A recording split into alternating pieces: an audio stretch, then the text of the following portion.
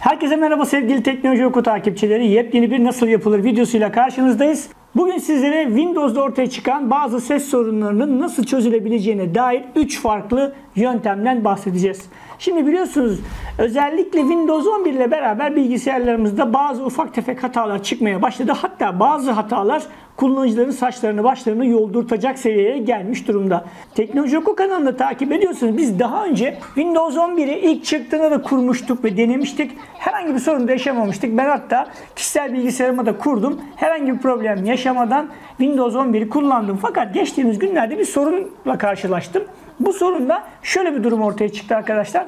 Her zaman kullandığım bir hoparlörüm vardı ve hoparlörden bilgisayarın sesi çok düşük çıkmaya başladı. Normalde belli bir şeyde ses çıkarken ses seviyesi ciddi anlamda düştü ve ben de yaptığım kayıtları ya da yaptığım işlerde sesi az duymaya başladım. İşte bu sorunu çözmeye çalışırken araştırma yaptım ve internette baktım gördüm ki birçok kişi aslında benzer sorunları yaşıyor arkadaşlar.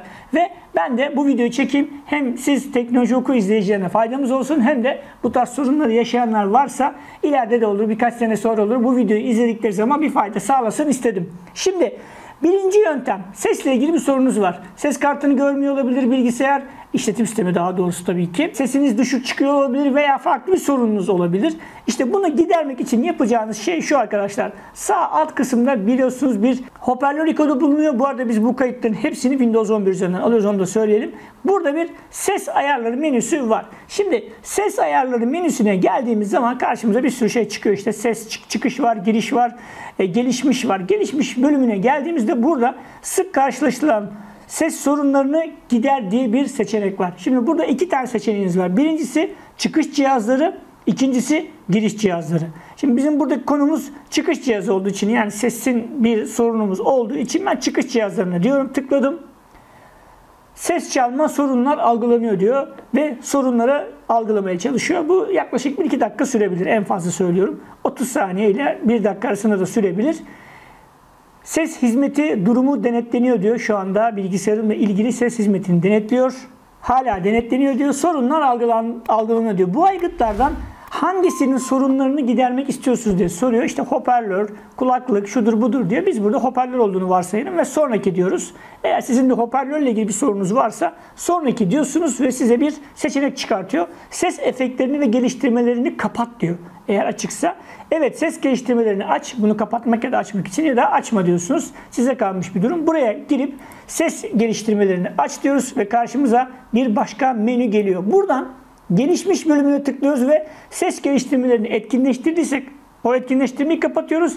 Etkinleştirilmediysek eğer de onu da aktif hale getiriyoruz ve sorunumuzun çözülüp çözülmediğini tekrar kontrol ediyoruz. Bu birinci yöntemimiz. Bu en kolay yöntemlerden bir tanesi. Şimdi bunu yaptık. Diyelim ki sorununuz hala çözülmedi. Olabilir. O zaman ne yapacaksınız? O zaman da yapacağınız şey belli arkadaşlar. Hemen tarayıcıya giriyorsunuz. Yeni bir sekme açıyoruz. Yeni sekmede ne yazıyoruz? Biliyorsunuz artık bilgisayarların hemen hemen tamamında Realtek'in ses sürücüleri kullanılıyor. Biz de Realtek yazıp arkadaşlar hemen şuradan ekranıma bir bakayım. Evet Windows 10 sürücü yazıyoruz. 11 de yazabilirsiniz fark etmez. Gelen sayfalar içinde hani ben bildiğim için söylüyorum. Gezginler nete giriyoruz ve buradan 32 bit ya da 64 bit için yazılımımızı indiriyoruz ve Realtek sürücülerini güncelliyoruz. Eğer sizin başka marka bir ses kartınız varsa onun ismini yazıp sürücüleri güncelle dediğiniz zaman karşınıza çıkan güvenilir sayfalardan sürücülerini indirip bilgisayardaki yazılımlarınızı, driverlarınızı ve sürücülerinizi o indirdiğiniz doküman üzerinden güncelleyebilirsiniz. Şimdi bu ikinci yöntemdi. Gelelim üçüncü ve son yönteme. Biliyorsunuz bilgisayarlarda bir aygıt yöneticisi var. Onu da menümüze yazıyoruz. Ay aygıt yöneticisi dediğimiz zaman zaten geldi. Aygıt yönetimimize tıkladık. Burada bilgisayarımızda bulunan donanımların sürücülerini ve kendilerini görebiliyoruz. Şimdi burada nereye geleceğiz? Hemen hızlıca ses, video ve oyun denetleyici kısmına geldik. Realtek Audio'yu görüyorsunuz. Bunun üzerine sağ tıklıyorsunuz. Sürücüyü güncelleştir diyorsunuz. Şimdi bunu bir yapmanız gerekiyor. Bazı Bilgisayarlarda bunun yanında bir ünlem işareti olabilir. Sürücünün güncel olmadığı veya sürücülerin doğru yüklenmediği anlamına gelebilir. Önce bir sürücüyü güncelleştir diyorsunuz. Otomatik olarak tara diyelim. Şu anda otomatik olarak arıyor. Diyor ki cihazınız için en iyi sürücüler zaten yüklü. Tamam bunu dediği zaman hemen pes etmiyoruz.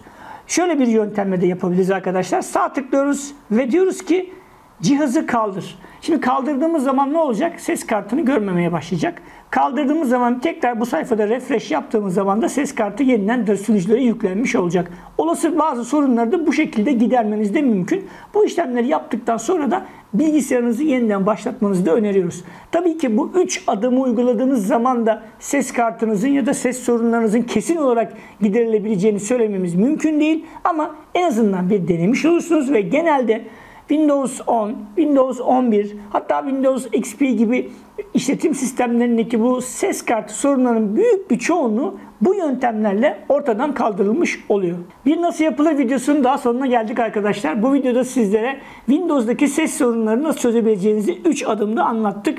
Eğer sizin bu konuyla ilgili farklı sorularınız varsa yorumlarda bizlerle paylaşmaktan çekinmeyin. YouTube kanalımıza abone olmayı ve bizleri Instagram, Twitter ve Facebook gibi sosyal ağda takip etmeyi unutmayın. Ayrıca hepinizi teknolojioku.com adresinde bekliyoruz. Orada da çok güzel içeriklerle karşınızda oluyoruz. Farklı videoda görüşmek üzere. Hoşçakalın.